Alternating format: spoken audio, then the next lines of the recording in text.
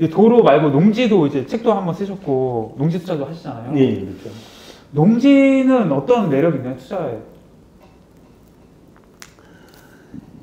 이 농지는 얘기를 하자면은 네.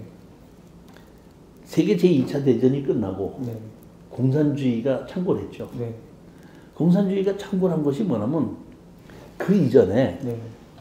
대부분 세계 국가가 왕권 국가였잖아요. 네. 그러니까 왕권 국가에서 왕의 자손들이나 뭐 이런 귀족들이 네. 땅을 대부분 차지하고 그렇죠. 농사를 안 짓고 땅만 차지하고 그때 네. 소작농을 시켜서 그렇죠. 평생을 먹고 살았잖아요. 네. 이것을 이제 반대하는 것이 이제 공산주의 혁명이란 네. 말이에요. 그래서 혁명이 일어나서 이렇게 됐는데 네. 우리 이제 대한민국이 북한은 이제 공산주의로 갖고 남한은 이제 자유민주주의로 왔는데 네. 그때도 그러한 문제가 대한민국에도 남아 있었죠. 그러다 보니까 이승만이 초대 대통령께서 네. 농지는 네. 농사는 지은 농사를 짓는 사람만 소유할 수 있다. 해서 아, 옛날에 지주들이 갖고 있던 농지를 전부 다 뺏어서 실질적으로 농사를 짓는 사람에 나눠준 것이 이제 농지법이 시초예요. 다 뺐었어요, 진짜. 뺏은 것이 아니고 국채를 주고 네. 그거를 매입을 그 한. 매입을 한 건데 네. 현금을 준 게 아니고 국채를 줬죠. 아. 그래서 5년짜리 국채를 줬죠. 그러니까 어떻게 보면 강제 매입이네요. 강제 매입이죠. 그렇게 해갖고 어떻게 했냐면 거기서 현재 농사를 짓던 사람에게 준 거예요. 아. 그래갖고 짓던 사람하고 5년 동안을 네. 국가하고 소장농을 반반씩 해요. 아. 자기가 농사 지구의 반을 네. 국가에다 주면 그거 받아서 5년 동안만 하면 그 땅이 자기 걸로 만들어준 겁니다. 오, 괜찮네요. 그게 이제 농지 계약법이 시작이에요. 음. 그러니까 이런 그러니까 우리가 먹고 살기 위해서는 농지가 가장 기본이었었는데 네. 그 기본을 그 지주들 몇 명이 좌지우지하는 걸 못하게 하면서 그때 만들어진 겁니다. 음. 그렇기 때문에 지금은 네. 그 농지를 소유 네. 제일 살 때도 문제가 되고 법에 정해져 있고 네. 사고 나서 보유할 때도 보유하는 데 법이 있고 어. 팔 때도 법이 있어요. 아. 그러니까 내가 범법자가 되고 싶은 것이 아니라 네. 네. 법을 모르고 농지를 다 샀다가 네. 나도 모르게 범법자가 되는 거예요. 아, 음. 그렇기 때문에 농지를 살 때는 네. 그만한 그런 법, 농지에 관한 법이 무슨 법이 있다는 걸 알고 투자하자 그런 내용입니다. 네, 그 농지증이 이제 그런 맥락이군요. 그렇죠. 농지증이 그런 맥락이기 때문에 이제 그 농지증이 보면 이제 92년도인가 이제 김영삼 정부에서 이제 우리가 먹고 살면서 천불이 넘어가다 보니까 사람들이 뭐 주식에도 투자하지만 주식에 투자하게 되는 부동산에도 투자를 많이 하게끔 되는데 그때 제일 만만하게 투자하는 게 농지거든요. 싸, 싸서. 임야는 네.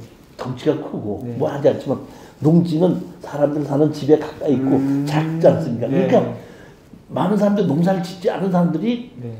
여윳돈을 가지고 농지에 투자를 하게끔 되는 거예요. 아. 그러니까 아 이걸 막아야 되겠다고 해갖고 네. 농지 취득 자격증을 만들어서 네. 실제로 거기서 거주를 하고 음. 6개월 이상 거주를 하고 네. 농사를 짓는 사람만에게만 농지 취득 자격증을 발급해 주고 네. 농지 취득 자격증이 없으면은 네. 등기소에 등기를 안 해줘. 어, 진짜요? 어. 그 당시에 어. 샀어. 내 건 됐어. 근데 그래서 그 등기소를 가면 네. 농지증 갖고 오십시오. 농지증 없다 그러면 등기 안 해주는 겁니다. 아. 그게 이제 농지 취득 자격증명서가 그 이제 만들어진 것이 이제 그때 만들어진 거죠. 그러다가 이제 세월이 바뀌다 보니까 네. 옛날처럼 이렇게 농지 갖고 소장농 하는 시대는 이제 또 지났죠. 네, 그렇죠. 지금은. 네. 그렇지만 농지를 가지고 또 농사를 안 지면 안 되기 때문에 네. 6개월 이상의 20km 이내의 거주는 없어지고 네. 농사를 짓겠다고 약속만 하면 농지증을 줍니다. 아, 좀 느슨해졌네요, 그래도. 그렇죠. 농지 그, 그 대신에 내가 농지를 네. 농사 이외에 다른 목적으로 사용하게끔 되면 그것도 법에 이용돼 음. 법에 저촉이 되는 거죠. 내가 농지는 농사만 지어야 되는데 거기다 창고를 짓는다든지 네. 집을 짓는다든지 음. 뭐 물건을 쌓아둔다든지 네. 한번 농사를 안 짓는 일이기 때문에 그건 법에 저촉이 된다 이런 거죠. 음. 그러니까 법이 농지에 대한 것은 아셔야 될 것이 네. 살 때부터 소유에서부터 팔 때까지 각자의 법이 다 있다는 겁니다. 음. 그럼 이 농지라는 게 진짜 뭐 취득, 보유, 뭐 나중에 뭐 팔 때도 다 굉장히 까다롭게 법으로 규제하고 있는데 그렇죠. 예. 이 투자로서 어떤 매력이 있는? 아니 투자로서 매력이 있다는 얘기는 네. 일단은 임야처럼 그렇게 크지가 않고 네. 그 다음에 사람의 접근성이 가깝고 네. 도로가 붙어 있고 네. 이런 경이 대부분이기 때문에 네. 인허가가 농지 전용 허가를 받으면 인허가를 쉽게 낼 수 있는 그런 장점이 있다는 겁니다. 아. 수익성 측면은 어떤 거예요? 농사를 지어서 수익을 올리는 것보다는 네. 이제 그쪽이 농지를 사놨는데 그쪽이 이제 개발이 돼서 그렇죠. 인허가를 받았을 때에 올라가는 걸 보고 이제 사는 거죠. 뭐. 음, 그러니까 어떻게 보면 이제 뭐 할머니 할아버지들 그 제 저희 할머니도 이제 그 농가 밭이 있거든요. 네. 근데 그런 것들이 이제 농사 짓다가 땅값이 자연스럽게 올라갔을 때 수익을 보는 거군요. 네. 그렇죠. 보면은 보면 그 지금 우리 그 동네에서도 네. 농사를 짓던 사람이 네. 농사를 짓던 땅을 네. 이제 창고를 지어서 빌려줘요. 네. 그, 그, 그러면서 그러는 거야. 아, 내가 뼈 빠지게 농사 짓는 거구나. 창고. 창고 지어갖고, 아. 어릴 때만 이게 내가 훨씬 편안하다고. 그렇지, 그렇지. 보면은. 네. 그러니까 이제 그런 인식이 이제 변화가 돼 가는 거고, 네. 그 60년대, 70년대처럼 네. 우리 경제가 네. 농지에 목매다는 경제는 아니니까. 그렇죠, 그렇죠. 예. 이제는 그렇진 않지 네, 않습니까? 그렇죠. 그렇지만 농지 자체의 원칙은 농지를 놀려줘서는 안 된다는 거거든요. 음. 그러니까 농지는 지금 무조건 사면은 네. 자기가 농사를 짓겠다는 생각을 하고 사야 돼요. 음. 그 그게 그게 법적으로 문제도 없는 거고요. 그렇죠. 이제 본인이 농사를 지으면 아무 문제가 없죠. 그렇죠. 그렇죠. 예. 그런데 이제 이 농지에 대한 투자는 네. 제일 좋은 것이 이제 네. 음, 연금이에요. 연금이요? 네. 음. 자 보십시오. 네. 1억, 그러니까 10억짜리 아파트를, 예를 들어서 9억짜리 아파트를 네.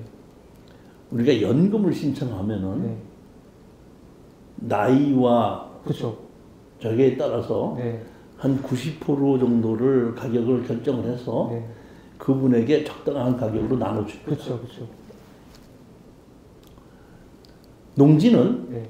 그러니까 그거를 이제 감정가로 이제 하지 않습니까? 네. 감정가를. 네. 그러니까 실거래가가 만약에 10억인데 감정가는 9억인데 네. 감정가의 9억에 90%에서 8억을 가지고 이제 준다 이런 얘기입니다. 네. 아파트나 이런 것은 네. 10억짜리를 9억 주고 살 수가 없어요. 그렇죠. 10억이면 9억 5천 주고 그렇죠. 산다든지 뭐 네. 이렇게 살 수는 거의 있죠. 비슷하게 되죠. 그렇죠. 네. 농지는 네. 10억짜리가 네. 5억에도 가격이 떨어지는 농지가 있습니다. 아, 그러니까 이제 농사 짓기가 어렵다든지 네. 뭐 형태가 나쁘다든지 할 때는 네. 사람이 사질 않으니까 음. 그러면 그 농지를 사서 네. 내가 농사를 지- 지면서 네. 농지 연금으로 신청하면은 네. 예를 들어서 10억짜리를 내가 5억 주고 샀다는 얘기입니다. 네. 가서 내가 열심히 농사를 짓잖아요. 네. 농사를 지면서 연금을 신청하면은 네. 내가 5억 주고 산 거를 따지지 않고 네. 감정가가 10억이니까 9억으로 해서 연금을 아. 사는 얘기예요. 그러니까 농지라는 게 감정가가 이제 시가보다 높은 경우가 많은 거군요. 그러니까 시가보다 싸게 살 수 있는 농지를 음. 사서 연금으로 쓸 수 있다 아. 이런 얘기죠. 그거. 어, 좀 좋은데요. 근데 이거 연금 신청하면은 그, 그 다른 뭐 주택 그 연금이나 이런 거 비슷한가 보다. 그 비율이라고 할까? 수익률이라고 할까? 주는 아니 이제 주는 것은 똑같은데 네. 상한선이 있어요. 음. 다른 거하고 달리 네. 300만 원이에요. 농지는 300만 원까지 주는 거예요. 근데 농지 연금은 아. 100억짜리를 갖고 있어도 300만 원 주고 아. 10억짜리 갖고 있어도 300만 원 줍니다. 아, 그럼 그러면은 그거는 좀 계산을 해 봐야겠네요. 그러니까 제가 봤을 때는 딱 상한선이 될 것만큼을 네. 가지고 농지연금으로 그렇죠. 투자하는 것이 좀 더 맞지 않냐 근데 제가 보면 지금 한 감정가도 한 12억 정도면은 네. 65세에서 70세 되신 분이 네. 돌아가실 때까지 연금을 신청하면 300 정도 나올 거예요. 그래서 12억이 그래도 있어야겠네요. 12억 정도쯤 간다고 보면 됩니다. 현재 보니까 그렇게 되는 것 같아요. 그러면 이게 뭐 보통 이제 땅 살 때 대출을 끼잖아요. 대출 끼면 또 깎일 거 아니에요, 그죠 연금이? 아니 대출이 있든지 설정이 있으면은 그 연금 신청 못 합니다. 아 신청 못 해요? 네. 아, 그, 그 순수 그럼 아 그러니까 감정가 12억짜리 땅을 농지를 내가 얼마에 사느냐가 중요한 거네요. 그렇죠. 그게 중요한 그게 거예요. 뭐 5억에 살 수도 있고 6억에 살 수도 네, 있고. 그러네, 그렇죠, 그렇죠. 그, 그것이 핵심인 거죠. 아, 그게 핵심이구나. 네, 네. 그럼 이 농지 연금은 신청만 하면 누구나 다 받아주는 거예요. 그러니까 실질적으로 거기서 거주를 하면서 네. 농사를 짓고 있다 그러면은 65세 이상이고 네. 5년 동안 농사를 지었다 그러면 연금 다 가능합니다. 그 5년 동안 농사를 지었다는 거는 농업인이 됐었다는 얘기죠. 아, 65세 되기 전에 네. 60세에서부터 농사를 짓고 있어서 농업인이 됐었어야 얘기. 아 그렇구나. 그럼 이- 그럼 60세 사서 5년 동안 농사 짓다가 이거 60세 낙찰 받아야겠네요. 최소. 보면 그러면 되는. 거죠. 근데 제가 보기에는 네, 어, 집에 그 우리 계신 분들이 네. 네. 그 시골에 네. 땅 사가가지고 네. 아버지 어머니 농사를 지으라고 하- 드리면서 네. 나중에 그냥 뭐 아프다고 돈 버릴 생각하지 말고 그걸로 그냥 연금 받아서 생활하십시오 그러면 편안하죠. 그거. 그렇죠, 그렇죠. 자식들로 가서는 어, 아, 그러니까 농지로 뭐 수익을 차익을 본다든 이런 거는 농지는 네. 농지 자체로는 보면은 수익을 올린다는 것보다는 네. 지역 여건을 봐서 음, 개발이 가능할 수 있는 곳에 농사를 짓고 있다 보면은 네. 그게 매입이 돼서 돈을 버는 건가요? 국가로부터. 아니 그것이 이제 가격이 올라가다 보니까 네, 네. 그리고 보면 거기 이제 인허가를 받게끔 됐을 때 네, 네. 그만큼 분위기가 인허가를 받을 만큼 환경이 변하느냐 네. 아니면 환경이 변하지 않고 농사밖에 질 수 없는 환경이냐에 따라서 네. 가치가 달라지는 거죠. 아, 그러니까 뭐 예를 들어서 뭐 이천에 이제 하이닉스가 들어갔잖아요. 그렇죠. 네, 그런데 농지를 갖고 있다 갑자기 기업이 들어온다 하면은 그렇죠. 땅값이 오른다는 거죠. 그러면 이제 그 옆에 뭐 다세도 지어지고 물도 그쵸. 지어야 되고 또 하청업자들도 뭐 공장을 지어야 되고 네. 창고를 지어야 되다 보니까 네. 인허가를 받기 위해서 그런 농지를 사다 했을 때 네. 수익이 올라간다 이런 얘기죠. 근데 그런 게 없으면 이제 거의 오를 일이 없는 거죠 농지. 그런 게 없다 그러면 거의 오를 일이 없다는 거죠. 그러다 보니까 먼저 그 LH 공사에서 네. 자기네들이 이제 매입하려고 하는 땅을 네. 자기들이 미리 같이 사놓고 네. 이제 매입을 하려고 했다는 것이 그 사건이지 않습니까? 아, 그렇지 않고서는 네. 그 자체만으로는 네. 가격이 올라갈 수 없다고 봐야죠. 그 이제 책을 보니까 농업 법인으로 투자하는 게 좀 유리할 수 있다. 뭐 이렇게. 그러니까 농업 법인이 네. 투자 유- 유리하느냐 네. 개인이 유리하느냐는 이제 차이가 있을 수 네. 있지만은 네. 국가에서는 지금 네. 그 65세 이상 되신 노인들을 네. 가능한 한 농사를 짓지 말고 네. 다른 일을 하라고 그래요. 음, 왜 노인네들은 농사도 못 짓게 해요? 법이 그 법이 그래요. 뭐 정책이 정책이 그래요. 그 얘기는 무슨 얘기냐면 네. 세계를 향해서 농사를 짓는데 네. 노인네들은 몸으로 농사를 짓고 네. 젊은 사람들은 머리로 농사를 짓는다고 네. 그러니까 몸으로 농사를 지- 지어서 하는 시대는 그쵸. 끝내고 네. 머리로 농사를 짓는 시대를 만들어야 되겠다 해서 농업 법인을 만들어서 네. 예를 들어서 노인네가 이게 옛날 얘기를 하나 네. 할게요. 네. 제가 교회를 갔더니 교회 우리 여자 집사님이 네. 점심을 먹고 나니까 네. 여기 집사님들 이번 금요일 날 내가 상추밭 갈아 엎을 거니까 상추 필요한 사람 금요일 날 전에 우리 밭에 와서 가져가 네. 그런단 말이에요. 네. 왜 가져가라고 그러죠? 어째 갈아 엎으니까 필요 없잖아요. 그왜 갈아 엎어요? 막 실컷 농사 지어놓고 가격이 떨어져서. 가격이 떨어진 거죠. 네. 그러면 그 손해를 누가 보는 거죠? 농사짓는 그쵸. 그 사람이 본다는 거죠. 네. 근데 그 노인네가 네. 농업법인에다가 자기 밭을 빌려주는 거예요. 네. 빌, 좀 빌려주는 법 받- 갚죠. 그렇죠. 봤죠? 네. 그 다음에 여태까지 아침에 해 뜨면 일하고 네, 해 그쵸. 지면 일하는데 네. 아침 8시에 출근해. 네. 12시부터 1시까지 점심 먹어. 네. 그리고 퇴근해. 네. 그리고 월급 받아. 그렇죠. 퇴직금 받고. 아. 이러한 정책으로 좀 바꿔간다는 거예요. 아. 노인네들도. 음. 시골에. 음. 그래서 농업법인을 만들어서 네. 농업법인을 만드는 그 젊은이들에게 국가에서 지원을 해주는 겁니다. 아.